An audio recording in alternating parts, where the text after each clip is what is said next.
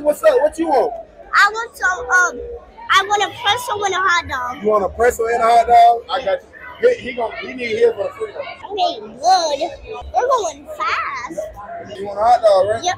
Thank you. I got your pretzel on the way. Hold on. Boom. Thank you. You're my favorite customer, man. Okay. When's the last time you had a hot dog? When I was four and five and three, it's it's better than most of them. What do you think Jalen's better at? Handing out hot dogs or football? I'll say handing out hot dogs.